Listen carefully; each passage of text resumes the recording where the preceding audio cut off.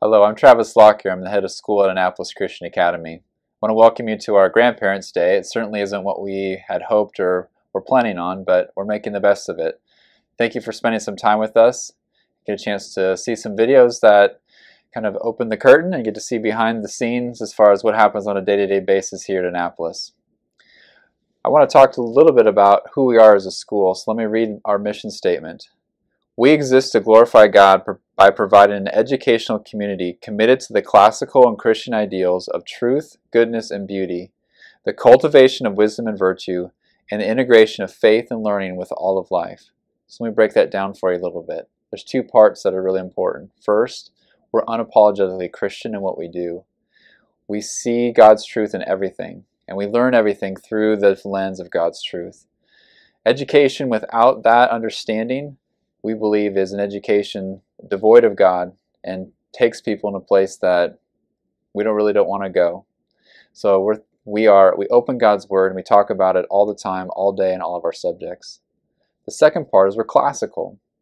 And all that means is that we believe that there are there are developmental stages of learning, the grammar, logic, and rhetoric stage. That God has has created people to learn different ways and different stages of life. And so we use that to our advantage. The grammar stage is building the, the foundation of facts. The logic stage, when kids want to do something with them, we teach them formal logic and how to debate eloquently and gracefully. And the rhetoric stage, polishing it all off, speaking and writing persuasively. It culminates in a senior thesis where they have to defend um, a, a subject against a panel. And all that prepares them for whatever God calls them beyond our beyond our walls, not just in college, but in all of life. So we provide a unique and distinctive education here in the south part of Texas. So let's talk a little bit about this year. It's certainly been a unique one. Um, obviously, with um, the pandemic and COVID and all of that, we've had to have some specific restriction in place. But thankfully, God has allowed us to open the doors. We've had kids on campus from day one. We're actually nine weeks into our school year, and we've been very blessed. We've been healthy, we've been safe. The kids have been learning and thriving here at school like they always do, and we're very thankful for that. We've been also offering a synchronous learning opportunity, which means that the kids, whether the kids are at school or they're at home, they're learning alongside together in a live stream of the classroom. We've had to learn a little bit about technology, but again, our teachers have been uh, great about learning and integrating it, and it's been a wonderful experience so far. Lord willing, we hope that um, you know we'll be able to move through this quickly, but while we're here, we're doing our best for our kids and serving our families the best way we possibly can. We've also been able to have athletics. Our volleyball team has been outstanding. Right now, they're undefeated. We've had football. We've had our grammar volleyball teams are starting up. So for us, it's continuing to be full steam ahead. We obviously have the safety procedures and protocols in place, but again, we feel like that God has been watching over us and we're able to do the things that we wanted to do to give the kids the best experience possible. We also have some exciting new things that have been happening on campus. We're building a new high school. Uh, those we're in the final stages of those preparations.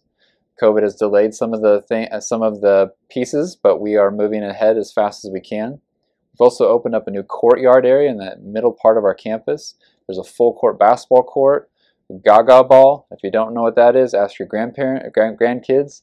Um, nine square playground. It's been a wonderful space for kids. There's picnic tables. Our kids and families have been able to enjoy that space and uh, when it's not too terribly hot here in Texas. So God has blessed us as a school. The, the school year has been, quite honestly, going better than I think anyone expected. So again, we're thankful for your commitment to the school, your willingness to, to partner with us and your families to partner with us. And so please enjoy Grandparents' Day as best you can and looking forward to a time when we can see each other on campus again. We're going to sign.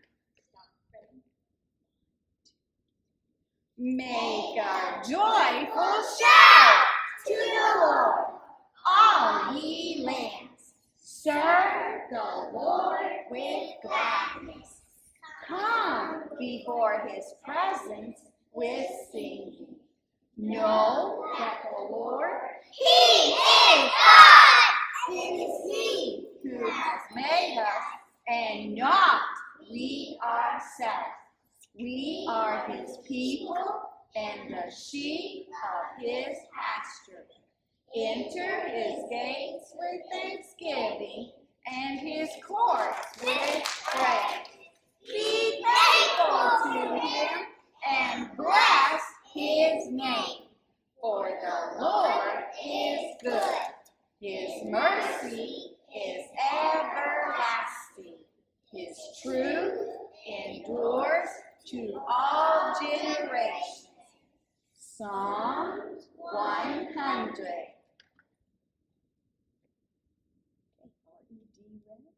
One two. R-E-D red, R-E-D red. I can spell red, I can spell red.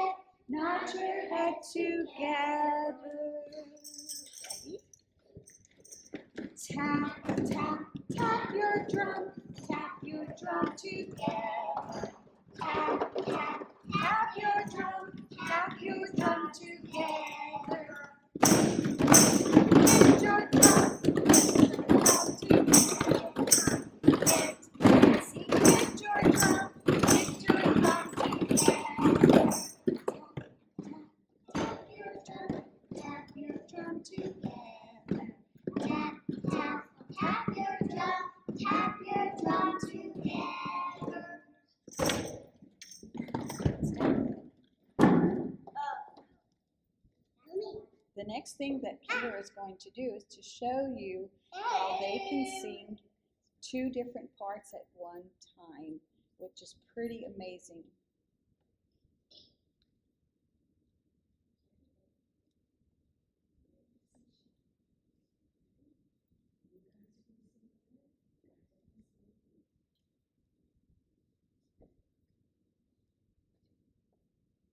She shall, she shall sing a song for me. Sing about the ocean, sing about the sea. Sing about the ocean, sing a song for me. Sing about the ocean, sing a song for sea. Sing about the ocean, sing a song for sea. Sing about the ocean, sing a song for sea. Sing about the ocean, sing about the sea.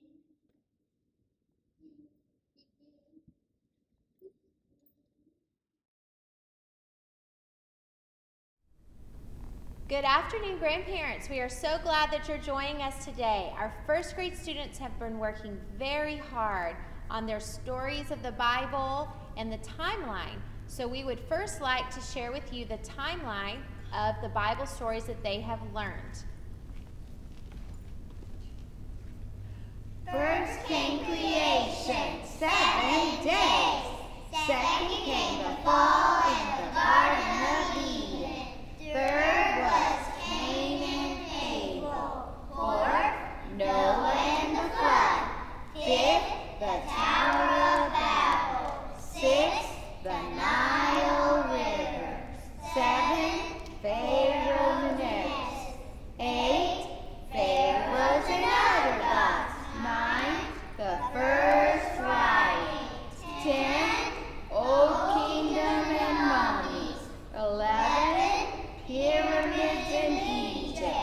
Twelve, start on behaving.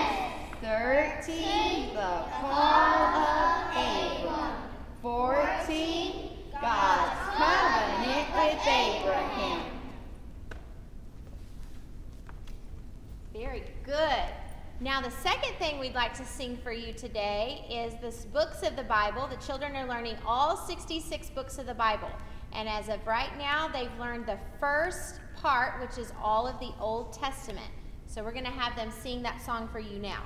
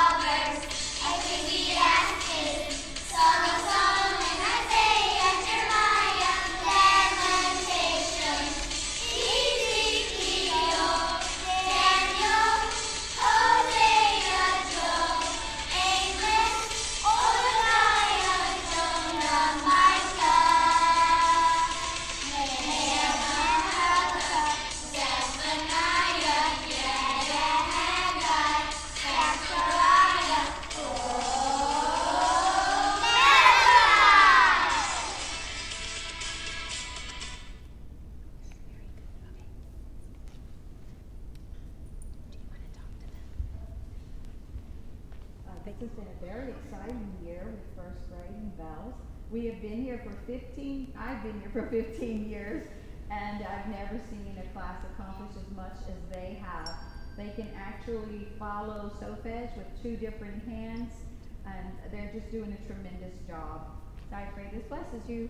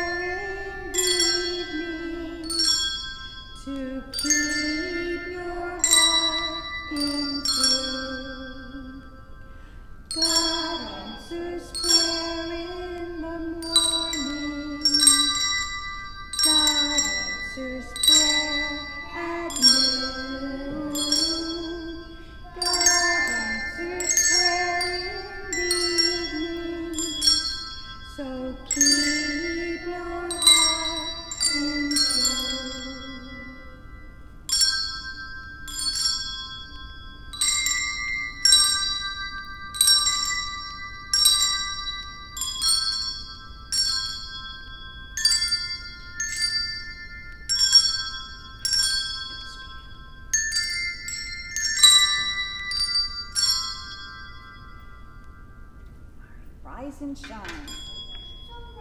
Follow Miss Donisha. Ready?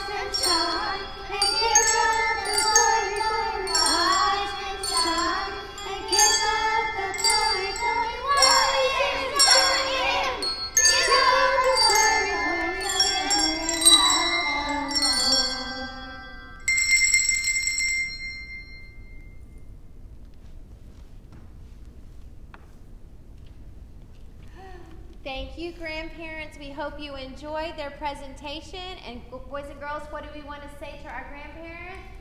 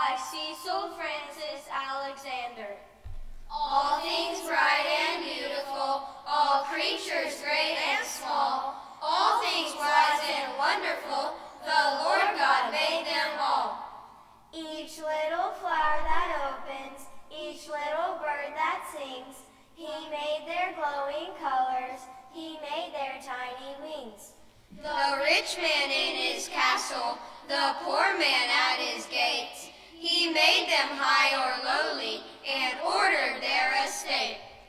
The purple-headed mountains, the river running by, the sunset and the morning that brightens up the sky. The cold winds in the winter, the pleasant summer sun, the ripe fruits in the garden, he made them everyone. The tall trees in the greenwood, the meadows where we play, the rushes by the water, we gather every day. He gave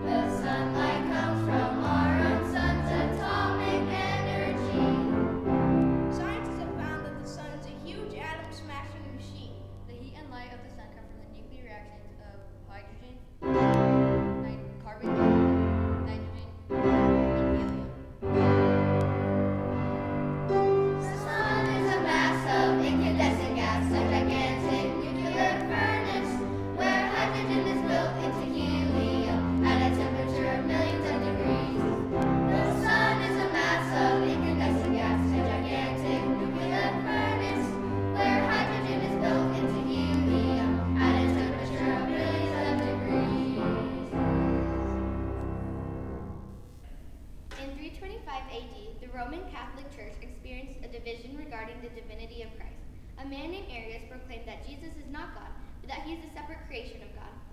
This conflicted with the church's position that Jesus and the Father are one.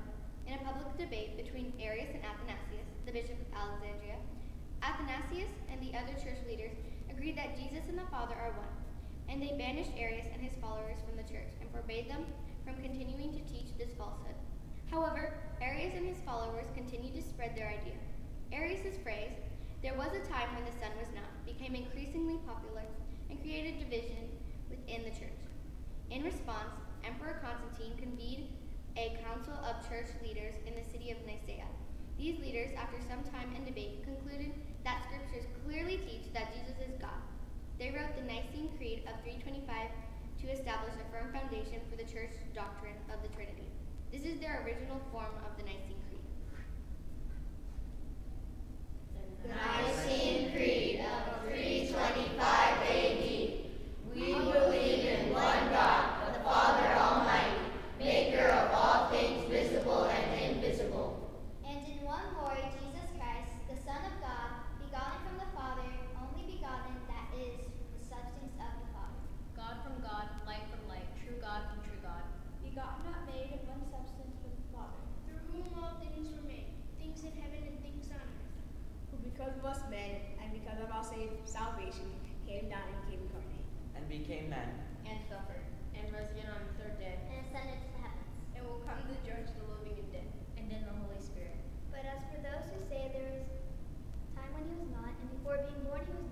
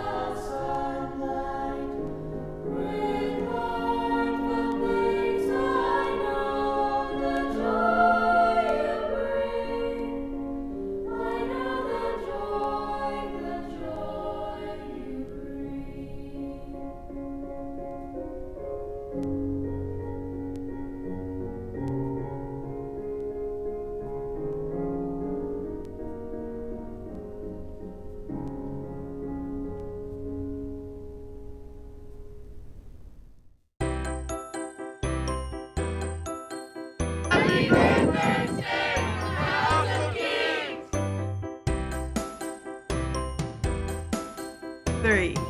Happy Grandparents' Day! We love you! You ready? Priest, why are we here? Goodbye!